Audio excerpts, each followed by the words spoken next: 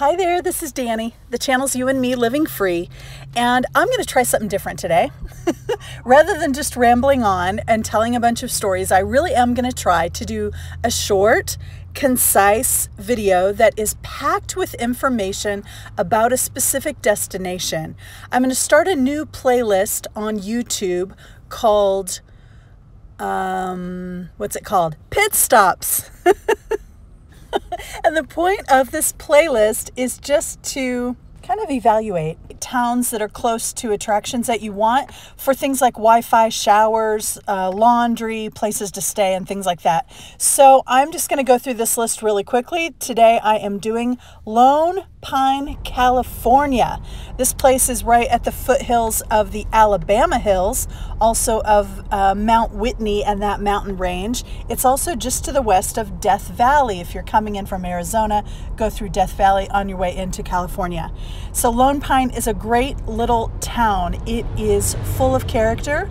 It's full of nice people. It had really good energy to me. So let's dig right in and tell you about the Wi-Fi. This is kind of funny. So the the the first thing I do for Wi-Fi usually is go to the library and I check out the situation there. Almost every place has a library, right? So I went to the Lone Pine Library and they're only open about four days a week, about five or six hours a day.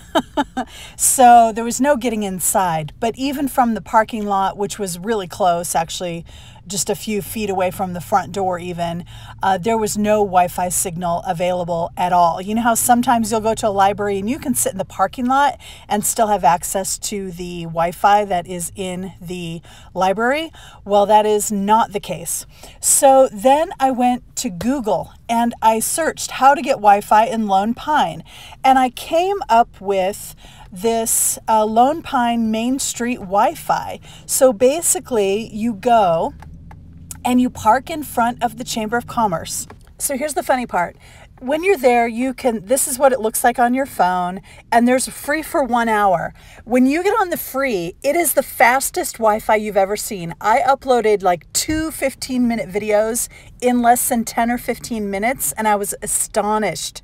So if you go there and you only need one hour of Wi Fi, then you are golden if you need more than one hour, they charge you $5 a day. And I was like, I don't mind paying. This Wi Fi is so fast. So as soon as I got on the $5 a day Wi Fi, it was slow as hell. I'm sorry, but I'm going to use a swear word. It was super slow as soon as I paid for it, which is good to know for you, I think. Okay, so let's move on to laundry. Here's the laundromat, and it is, um, what can I say about this laundromat? It was cheap, I'll say that. It was only $1.50 to wash clothes. It was not pretty, it was not clean, it was not new, but it was functional. And it did get my clothes clean, it got my clothes dry, and it was cheap. There were no bathrooms in this laundromat. You know how in, back in Page I was complaining that there's no Wi Fi?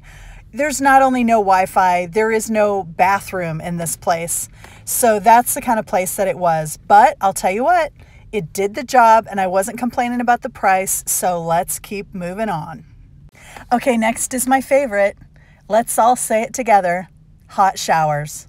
Okay, so I found this place on um, iOverlander and they were 10 dollar showers. So it is not cheap, but it's completely unlimited, completely full of hot water, definitely clean, not perfectly clean, but clean. So I was very, very, very happy to have this shower.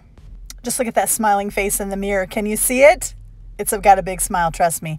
Okay, the next thing is just the grocery store and the gas. Both were expensive but good what what can I say? The market is really good, but it's high price, very high prices. First you're in California, then you're in a small town. So we expect high prices, whatever. It is what it is. You're in California, baby. So uh, you've got lots of benefits, but you're going to pay for it. That's how I think of California. Anyway, here's a place next to the laundromat called Alabama Hills Cafe. More than one person told me I had to eat here, but every single time I went by, they were filled way beyond capacity, and I could never get in and get a little table. So I still don't know how the food is. But I'm going to tell you, as a stop, overall, I loved Lone Pine. They have the best place to stay nearby because you're in Alabama Hills. There's tons of BLM land, plus there's Tuttle Creek Campground. And I have a whole video that tells a lot more about that, so I'll put the link in the description if you are interested. Highly recommend Alabama Hills, highly recommend Lone Pine. Have fun, tell them Dani sent you. And you made it to the end of a video, but this was a nice short one, wasn't it, for a change? you know, it's me, so I still had to stumble around a little bit, and I still had to tell you a couple little mini stories, but we're done. Thank you. You made it to the end of a video. I appreciate you. I'm sending you love. I hope this helps somebody. I think it. I think these little videos will help. Um, will help people who are on the road trying to decide where to schedule their pit stops and stuff. So I hope it does. Bye. Catch you next time.